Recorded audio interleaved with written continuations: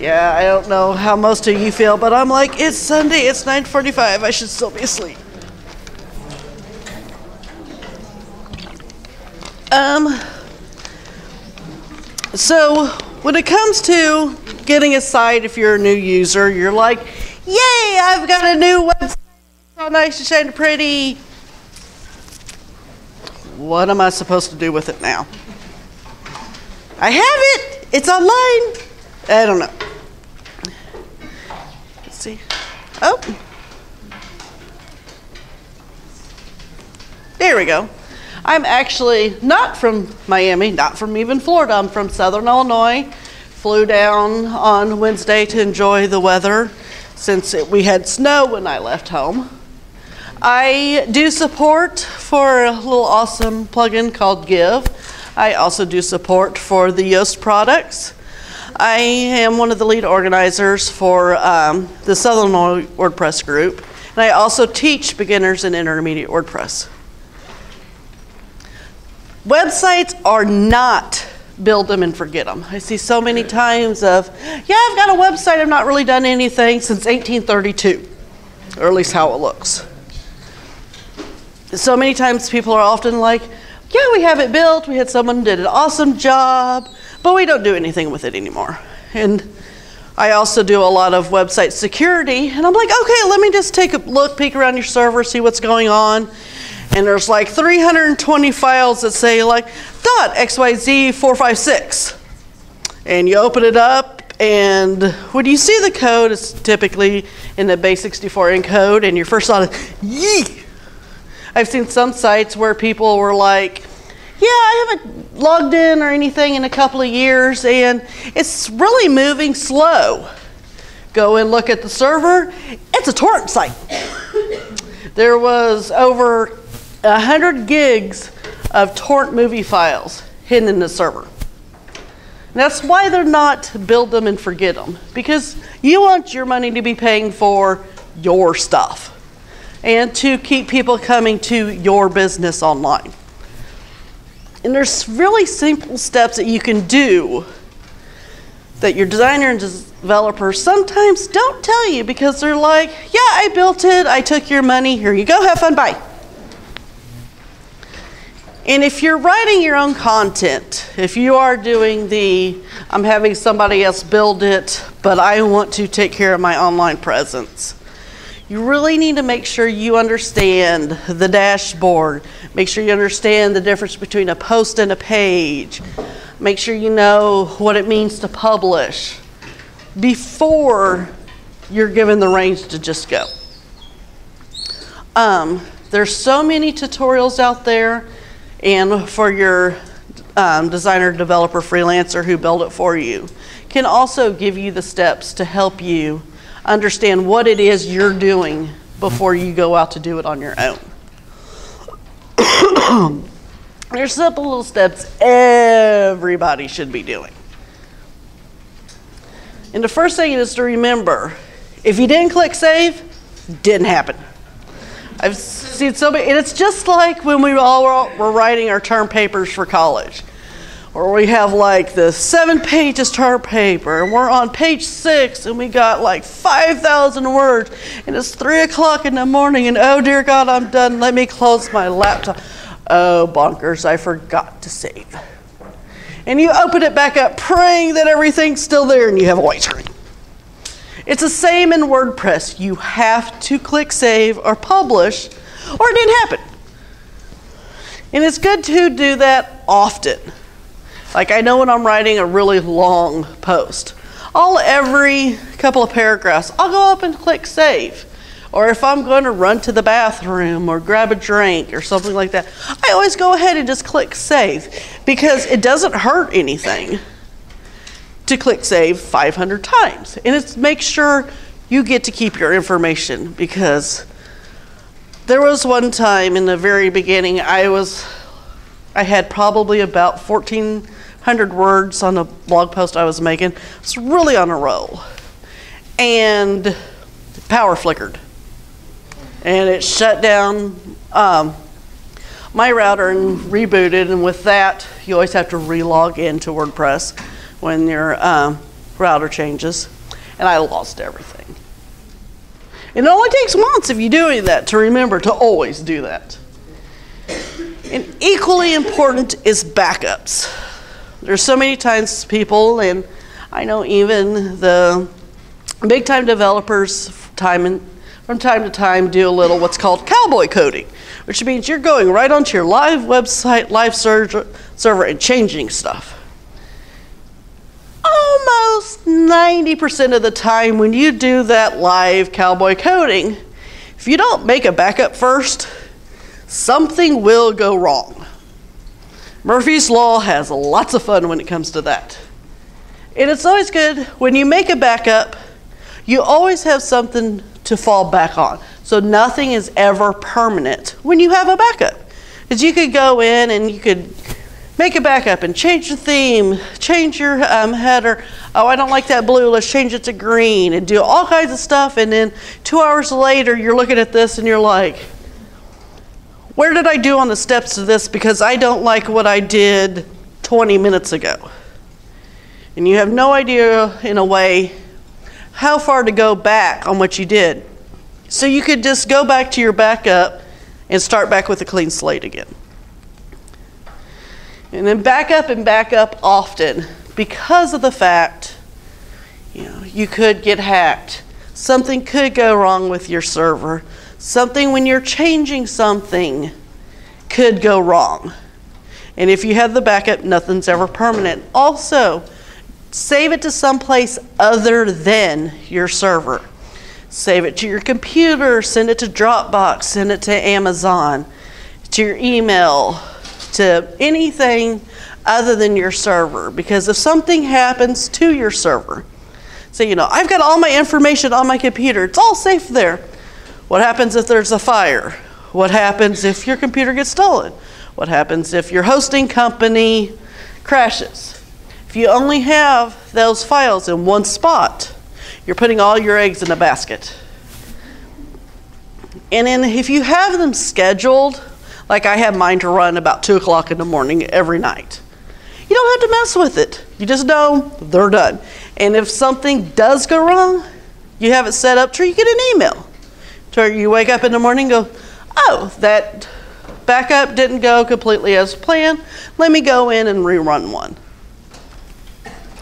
The backup plugins, the three most popular, Backup Buddy, Updraft Plus, and BackWP Up.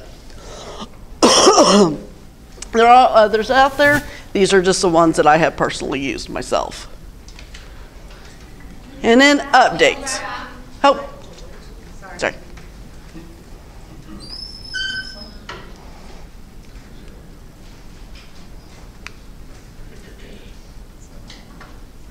And duplicator is also under that. I'm sorry? Duplicator. Duplicator. Yes, duplicator is another one.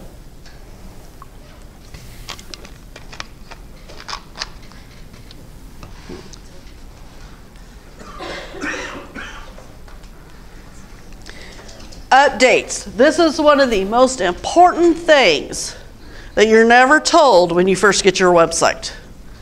Updates are like the most important thing to ever do with your site, other than putting new content on it. Update core, update your plugins, update your themes, update everything. Almost all updates are because of a security vulnerability found or they've added new features. Either way, it's needed to be updated. There are times where the developer will go back and look at his code and be like, oh, I could write that better, and then change it around and then send it to an update. But most of the time, it is security or feature related. Most malware infections are due to lack of updating. I've seen many sites that um, will be hacked because they're still on WordPress 2.8. And I have seen that in the past year. Now, speaking of updates, one of the most popular places to get themes, especially and some plugins, is Envato. Oh, sorry, skipped a screen on that one. for the updates, when you log on, you'll see dashboard and you'll see a little red circle with a number in it. That red circle means how many updates you have. And if you highlight on the dashboard, it'll show updates and you click on that. That's how you can go in to update your um, plugins and core and themes.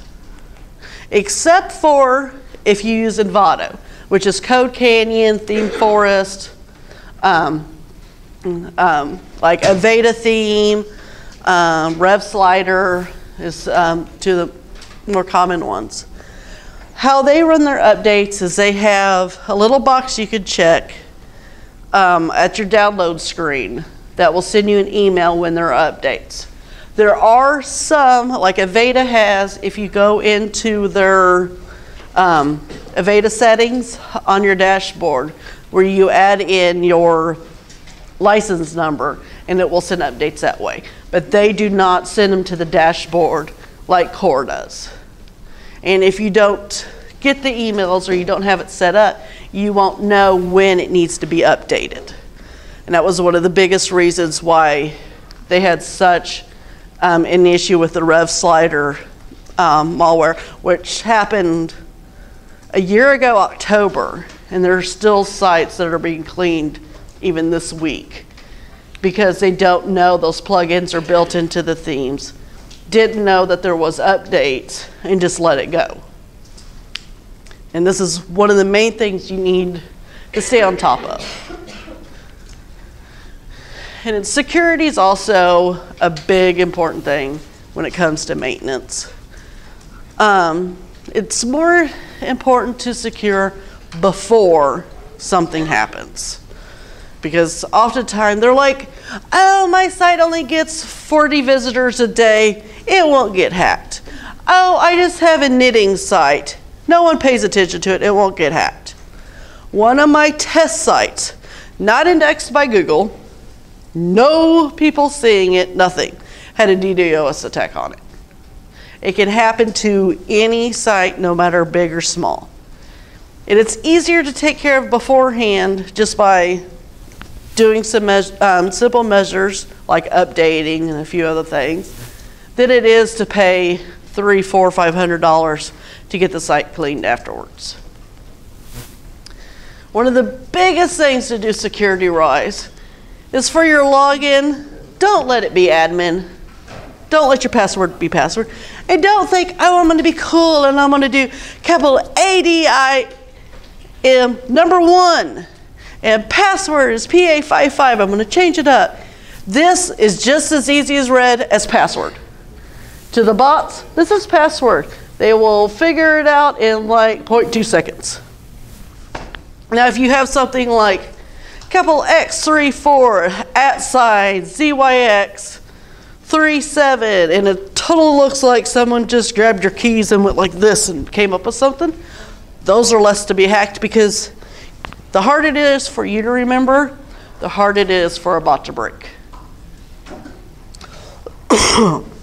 and for people who will be like, oh, um, I only need one password because I can't remember it all. Um, say you have this one, you use your email and you use one password for everything. We'll say your password's I love cookies. You got your website and it's, you know, Michelle at gmail.com and I love cookies is my password. And one of the bots figure out, you know, your login is Michelle at gmail.com and your your password's I love cookies.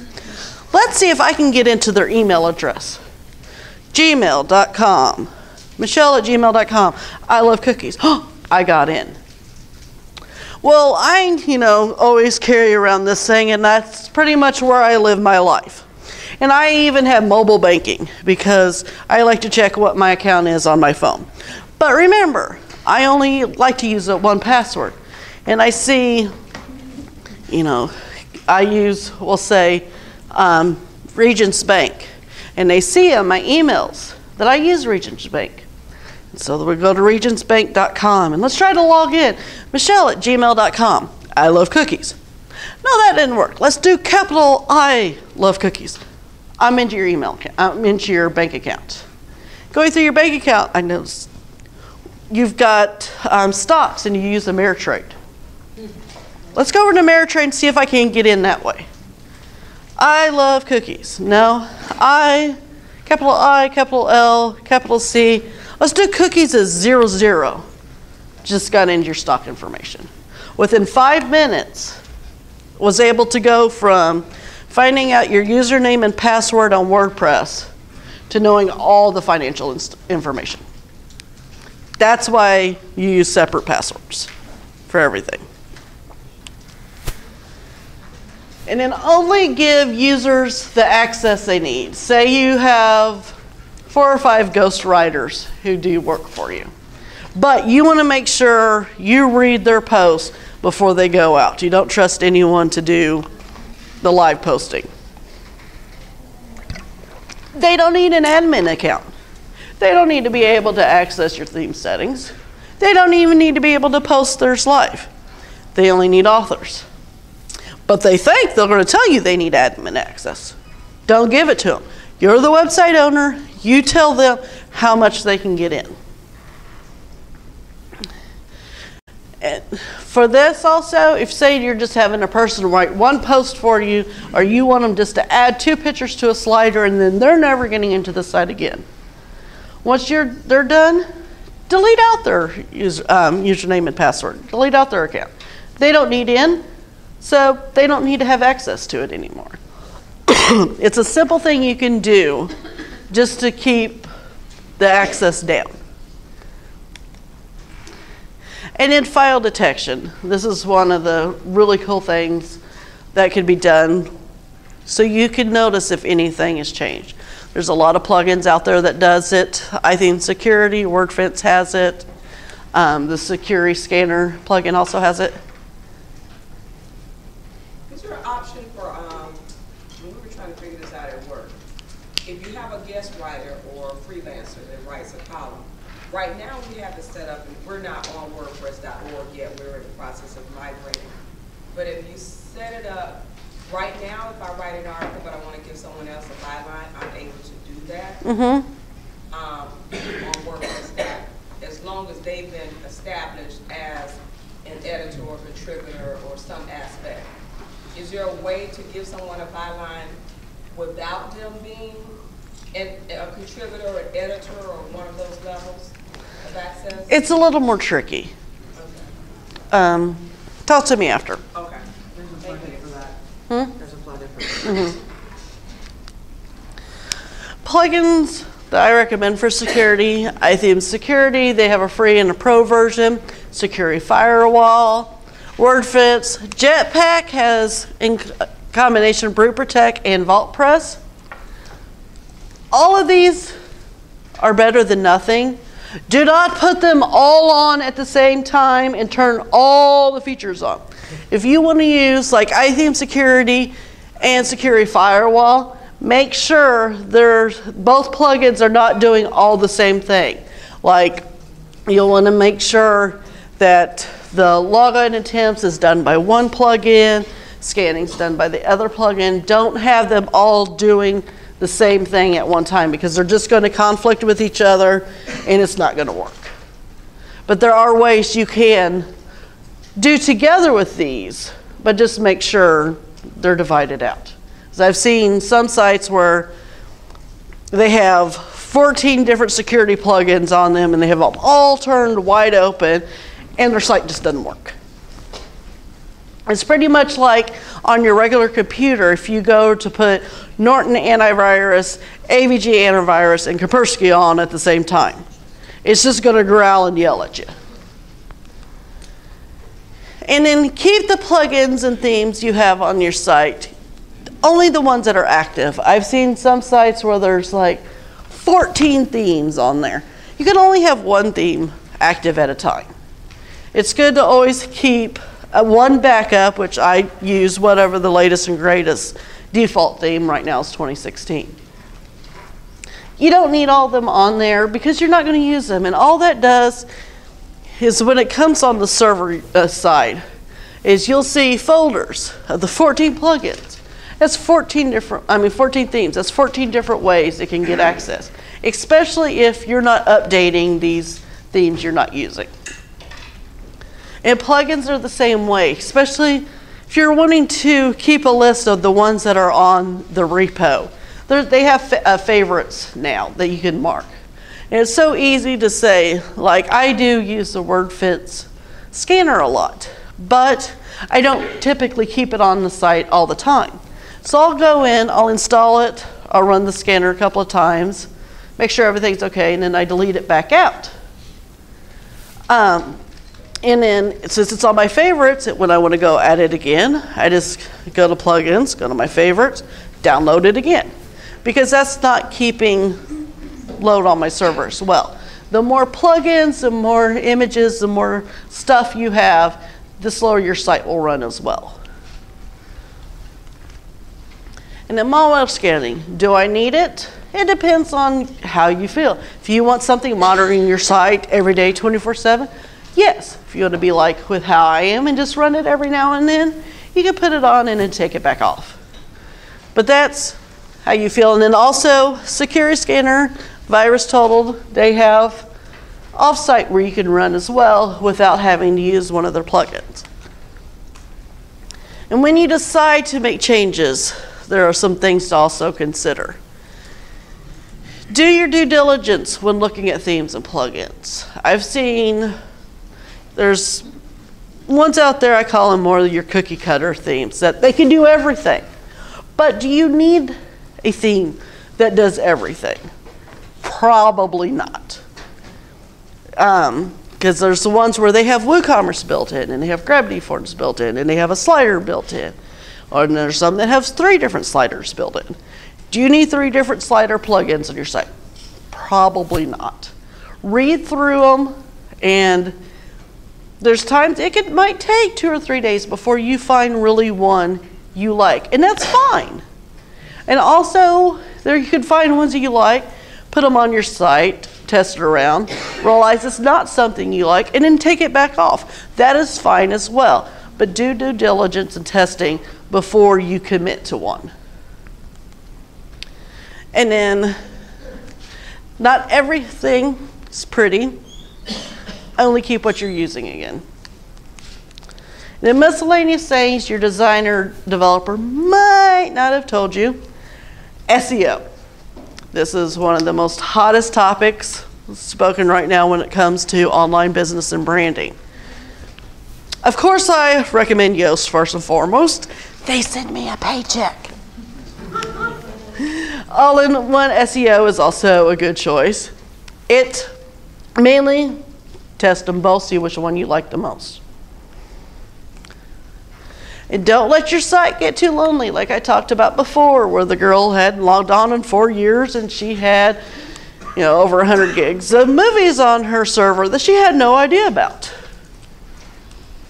It's, they also call it um, turning into a zombie site, and the zombie sites you know, work for other websites, and they don't work for you anymore. And if you do have questions, which even some of the more develop, um, bigger developers will have questions because you know they might work with just this and have no idea about this. Where do you go for answers? The codex.wordpress.org is your first and foremost place to find out the beginning information about getting into WordPress. And the .org repos, themes, and plugins, the best place to find out information though is go right to it, wordpress.org slash themes, wordpress.org slash plugins. All of the plugins on there and all the themes have support built right in there. Twitter. I've seen so many times. I'm working on this WordPress site. I'm using Easy Digital Downloads and I can't figure out X. And I tweet it out. And typically within five minutes, you'll see four or five answers getting sent. Facebook. Facebook has got many different um, WordPress groups, advanced WordPress. We've got we're over 18,000 now, aren't we? Members. All about WordPress. Genesis WordPress.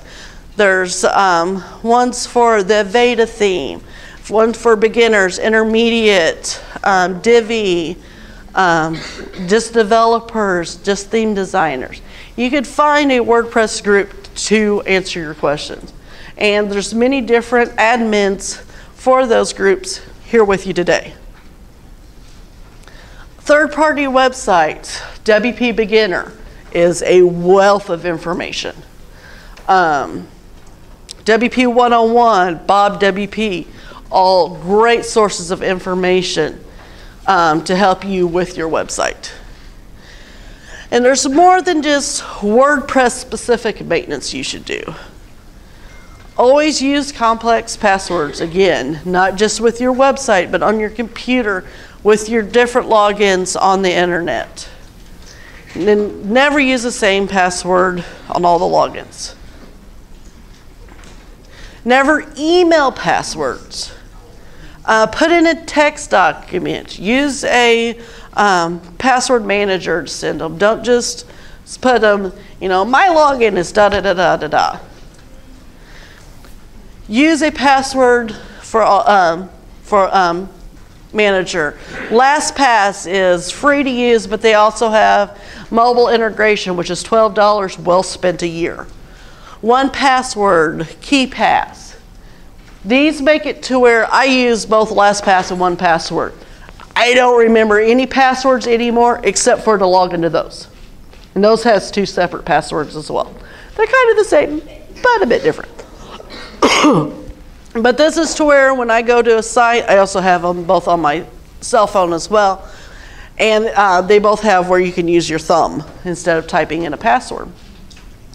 To where I'm like, you know, my password for my bank is like 30 characters, but I don't need to remember it because I could just hold my thumb, go to insert password, and it does it for me. If any login has two-factor authentication option, use it. Like where they send a pa uh, password to your cell phone, or you have to use a Google Authenticator. Um, WordPress has a uh, has it built in with Jetpack, and there's also the Clef plugin. And you can also, like on your cell phone, where it has where you can use your um, touchpad. Those are all different styles of two-factor authentication. Just makes it safer to for your information. If you use an antivirus, my Mac right here has Kaspersky on it. Know a lot of people say, oh, Macs don't need it. I have no idea how many times Kaspersky has made the lion roar of going to different websites or with me cleaning a site of saying that there's a Trojan trying to get on my computer. Be conscious when using public Wi-Fi. If there's not a password needed to get on it, that means anybody can get on it. Anybody can try to grab your information off of it. You could use a VPN. I use um, Cloak is just for Macs. TorGuard is good. Site Social. Hide My Ass. Interesting name. Actually works pretty well. And it, oh.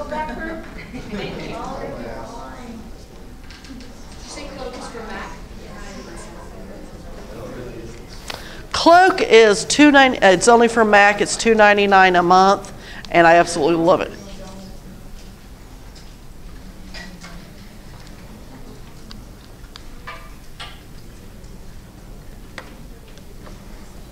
Yes, sir. Can you talk a little bit more about that when we're using public Wi-Fi? How do people use that to get into our computer and how common is that? Um, one of the things that they can do is when you're on an open network, it's just like being on your work's open network. All the computers are attached to this one router. And they, um, there's different things where you can describe information off of different computers attached to the same network. Um, there's different scripts that can be ran that can do even keyloggers for your sites. They can go in and check the history of where you've been at while on that network, um, which is a lot of times done in open Wi-Fi. But if you're using a VPN, what a VPN does is I log into this um, IP address to um, network. What a VPN does, it adds an extra layer right here. So my computer has got to go to that, come over here, and then come back. Kind of like when you watch NCIS or Criminal Minds or something like that, and you see the tech guy watching the pings. When you're using VPNs and stuff like that, it changes your pings of why it's harder to trace around for to get the information. There's, is, of course, with those hackers, they're using more complex VPNs and stuff like that, where these more just give one or two layers in between. There was a great article on Medium all about that, the details, like how a hacker went into a cafe and like detailed like how he was accessing everybody's information. So if you have a chance, it's called Maybe Better if you don't read this story on public Wi-Fi, but it's on Medium. Medium? Medium. And, yes, You can buy a tool on Amazon for ninety-nine dollars and sit in a cafe and, and look at all the stuff people are typing just by sniffing the traffic that's going through the the little pineapples. with the- pineapple. Mm-hmm. That's just like, for example, when it comes to the sharing of information. I have a good friend of mine who every time travels to different areas, almost every time his credit card information gets stolen. By one way or another because of being in a different area.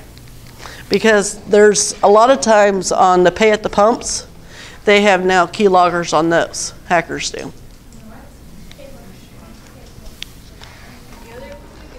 And again, update, update, update. The Mac updates, Windows updates, I know they take forever and they're so annoying. When you just want to shut down your computer, they won't let you because it tells you not to, but they're still very important.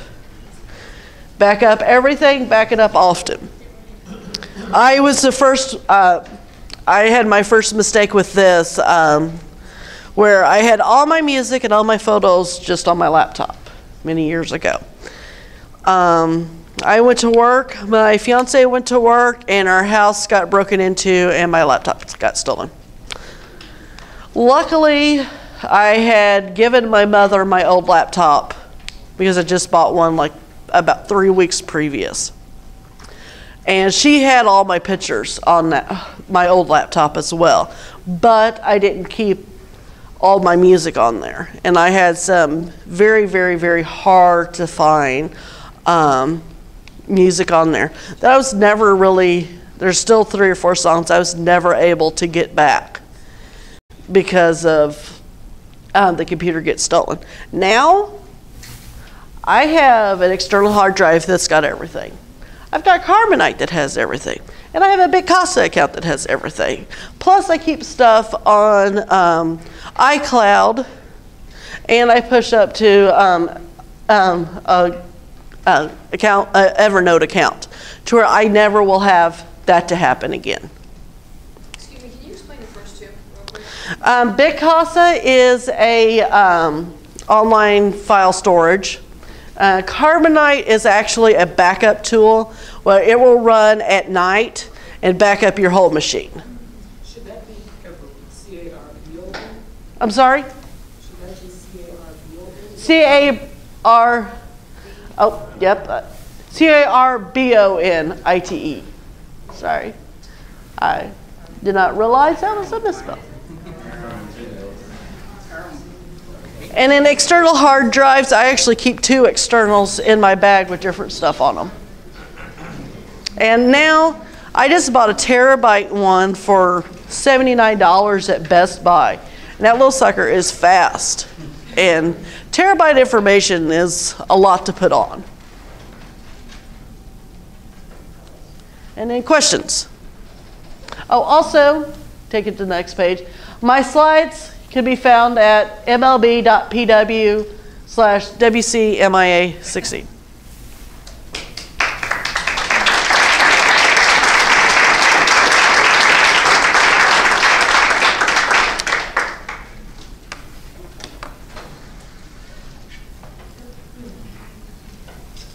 Yes.